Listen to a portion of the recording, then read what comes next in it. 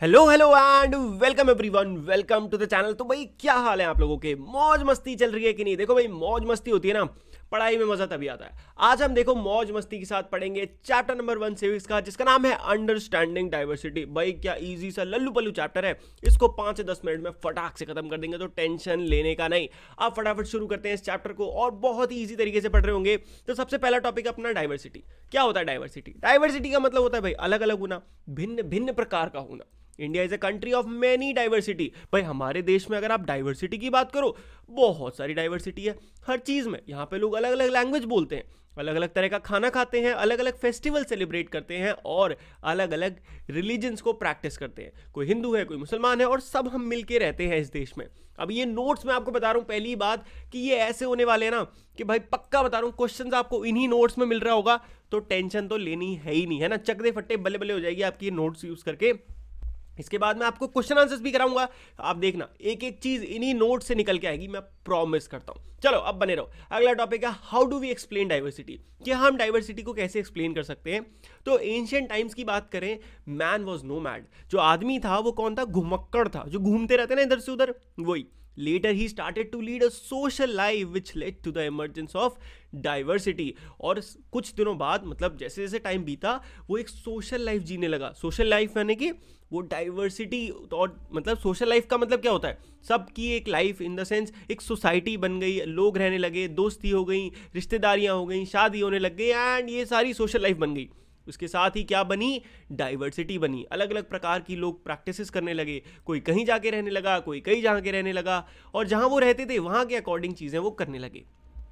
Now Human beings are social animals and thus cannot fulfill all their needs on their own. तो इंसान क्या है? एक social animal है। यानी कि है तो वो जानवर बट वो सोशल है। उसको पता है कि सोसाइटी में रहना क्या होता है, कैसी दोस्ती निभाई जाती है कैसी रिश्तेदारी निभाई जाती है, ये सब उसको पता है। तो इसीलिए बहुत सारी ऐसी चीज़ें हैं जो वो खुद से फुलफिल नहीं कर सकता अकेले रह के। They depend on each other and also on their social group to fulfill their fulfill their needs अब सिंपल सी बात है, एक इंसान अकेले नहीं रह सकता। सोसाइटी की ज़रूरत है। इसीलिए आज के टाइम पे हम अलग अलग धर्म को फॉलो करते हैं अलग अलग ग्रुप फॉलो करते हैं। आप स्कूल आते हो, अकेले तो नहीं आते हो ना? आपके साथ चालीस पचास बच्चे और बैठे हैं। तो सब क्या है? सब एक सोशल नीड के तहत पढ़ रहे हैं। पढ़ाई क्या एक सोशल नीड ही तो है। अगर नहीं पढ़ोगे तो भी तो ज़िंदा रह लोगे ना कुछ खा पी के इधर उधर से। बट स्टिल हमें एक सोशल जानवर है। याद रखना ये चीज़।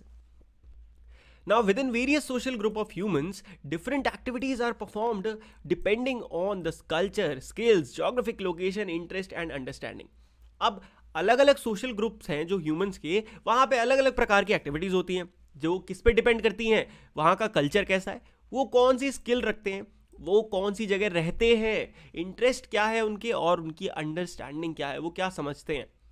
हिस्टोरिकल एंड जोग्राफिकल फैक्टर भी बहुत ज़्यादा इन्फ्लुएंस करते हैं रिलीजन की डाइवर्सिटी में। रीजन की और रिलीजन दोनों की। तो रीजन की डाइवर्सिटी क्या होती है? भाई, कहीं पे पहाड़ है तो वहाँ पे लोग अलग तरीके के घर बना के रहते हैं, अलग फेस्टिवल्स मनाते हैं, सब कुछ अलग होता है। तो वहीं पे कहीं दूसरी जगह पे, वहाँ पहाड़ नहीं है, वहाँ सूखा है तो वहाँ अलग मनाते हैं। और ये सब चीज़ें किस पे डिपेंड करती है?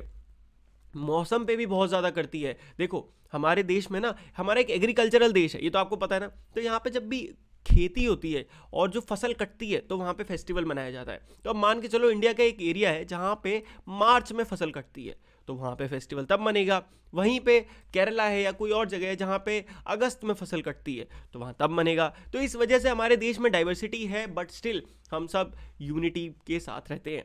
Historical and geographical factors we can understand this diversity better through case study of Ladakh and Kerala अब एनसीईआरटी में इस, इस पूरे चैप्टर को समझाया गया है लद्दाख और केरला की केस स्टडी से। तो लद्दाख हमारे देश का सबसे टॉप मोस्ट में पड़ता है। Ladakh is a desert in mountains in the eastern part of Jammu Kashmir आप कहोगे भैया डेजर्ट क्या बात कर रहे हो? गलत।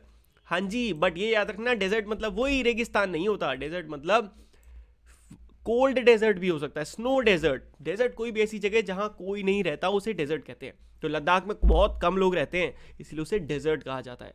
माउंटेन्स के बीच में है जम्मू कश्मीर के ईस्टर्न पार्ट में। इतना पता होना चाहिए। बहुत ही कम एग्रीकल्चर होता है यहाँ पे, और पॉसिबल ही नहीं है, क्योंकि ये पूरा एरिया ढका हुआ है स्नो से।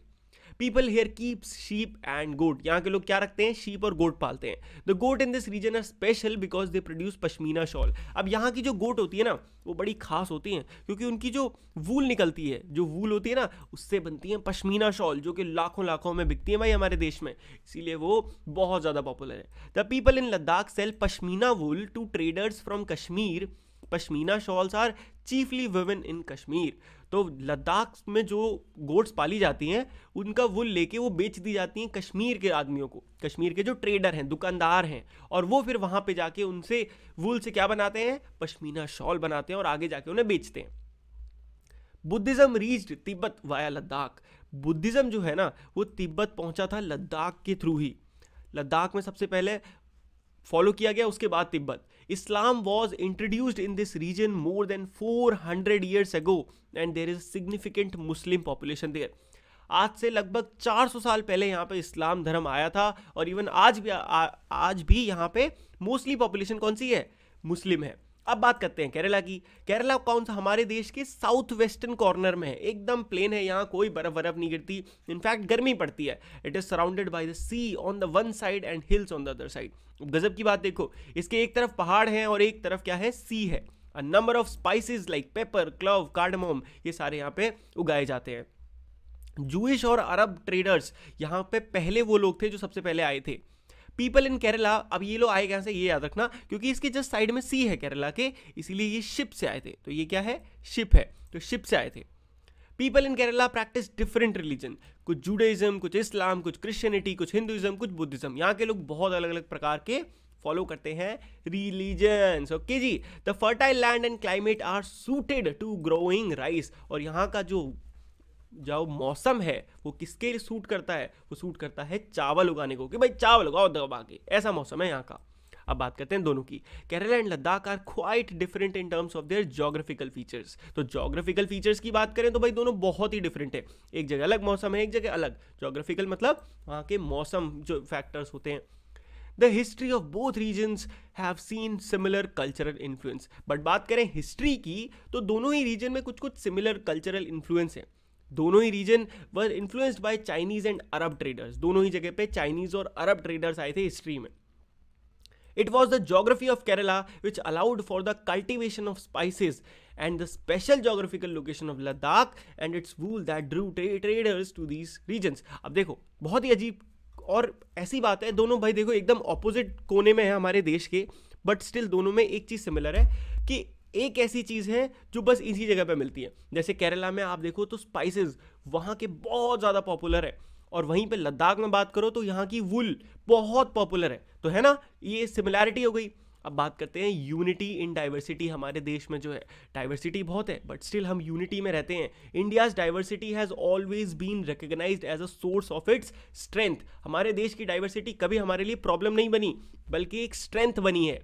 When the British ruled India women and men from different cultural religious and regional backgrounds came together to oppose them. जब जो ब्रिटिश आए थे ना, और उन्होंने इंडिया को रूल करा था तो आदमी और औरतें, चाहे वो किसी भी धर्म की हो, किसी भी कल्चर की हो, किसी भी रीजन की हो, सब एक साथ खड़े हुए थे और उन अंग्रेज़ों को मार भगाया था हमारे देश से बाहर। है ना? तो इसी पॉजिटिव नोट के साथ हमने चैप्टर कर लिया है खत्म और फटाफट कमेंट करके बता दो आपको चैप्टर कैसा लगा। वीडियो मस्त लगी हो तो फटाफट वीडियो को लाइक कर दो जी और ऐसी धमाकेदार, मज़ेदार वीडियोस देखने के लिए चैनल को सब्सक्राइब कर लो। ठीक है? डिस्क्रिप्शन में मस्त मस्त लिंक मिलेंगे तो जाके उनको यूज़ करना। वहाँ पे आपको बहुत सारा स्टडी मटेरियल मिल जाएगा मस्त मस्त। तो चलो, मिलते हैं नेक्स्ट वीडियो में। तब तक के लिए goodbye take care and मौज मस्ती करते रहिए।